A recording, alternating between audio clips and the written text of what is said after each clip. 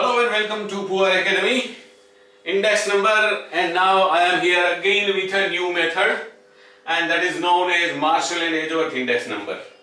Yes, as we are well aware that Paasche and Fisher index numbers consider only say base year quantity and current year quantity only and from Fisher's index number we started considering the say quantities for both the years base year as well as current year.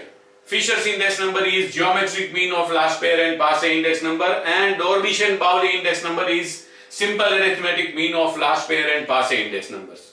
But in case of Marshall and Edgeworth index number it is somewhat different Marshall and Edgeworth actually suggested that at the time of constructing index number we should consider the simple arithmetic mean of quantity of base year and current year as weight.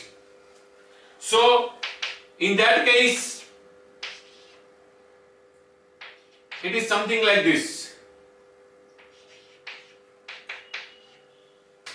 So sigma IW in case of that is something like this. If we substitute this interpretation of weight and simplify the formula for two or more items, ultimately we get this formula. So I suggest you to use this formula because this formula makes the calculation of index number quite easier. Instead of this indirect formula, calculate the index number of Marshall and Edgeworth through this formula. Because again in this formula also we need to have this same four columns which we need to calculate Laspeyres's index number, Paasche's index number, Fisher's index number and and Bowley index number. The same four columns. Yes? So the working part remains the same. So in case, in, in your examination, if you are asked to calculate Fisher's, and Bowley and Marshall Edgeworth index numbers, then also you will have to prepare this one table only and you will be able to calculate all these three index numbers easily. Yes? Yeah. Thing that is actually different from Fisher's index number as well as Dorbish and Bowley index number is that here we are not required to calculate geometric mean or simple arithmetic mean of Laspeyres and Paasche index numbers. So we cannot calculate Marshall and Edgeworth index number directly on the basis of our calculations of Laspeyres and Paasche index number. Marshall and Edgeworth index number we have to calculate separately through its own formula only. We just have this simplified version of formula. Okay, let's calculate. See, first and third column, second and fourth column according to this order of the columns. Sigma P1QO 2040.90 plus Sigma P1Q1 3180.25. Current year prices always remain in the numerator. Sigma POQO 1610.55 plus 2507.15 that is sigma POQ1 okay the summation of these two comes to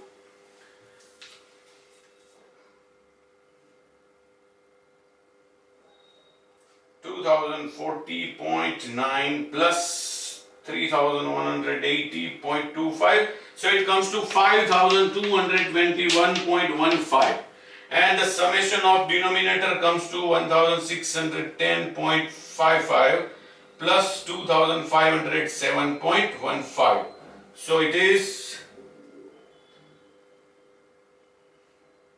1610.55 there was an error in typing 2507.15 okay? It comes to 4117.7 and into 100 so it comes to 5221.15 divided by 4117.7 uh, there are some drawbacks of using mobile calculator but the biggest gain is it is always handy with us.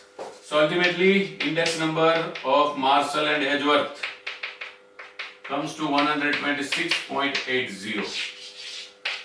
So in this way we learned how to find index number of Marshall and Edgeworth. So we learned five different types of weighted index numbers. Last Laspeyres index number, Paasche's index number, Fisher's index number, Dorbish Bowley index number, Marshall and Edgeworth index number. And I used the same case or same problem to learn the calculations of all these five index numbers so that you can compare all the index number for the same data and that is very useful in understanding similarities and differences between the different index numbers. I also suggest you to calculate all these five index numbers for the same data at least in four or five different cases while you are practicing at your home. That will be very much useful to you in understanding all the concepts. Yes? And I am very much sure that this lecture was also useful to you in understanding everything I discussed and don't forget to like this lecture. Also visit my youtube channel. And don't forget to subscribe it. To reach my youtube channel just go to uh, search bar in the youtube channel and type prshntpur that will actually I mean you will reach my channel. And also don't forget to suggest my videos my channel because there is something useful for everyone there whether studying or not. So that's it now. In the coming lectures we are going to discuss time reversal test, factor reversal test and typical different kinds of problems etc. And also I am starting new series on other lectures on statistics and other subjects also. Yes, that's it for now. Thank you very much and take care.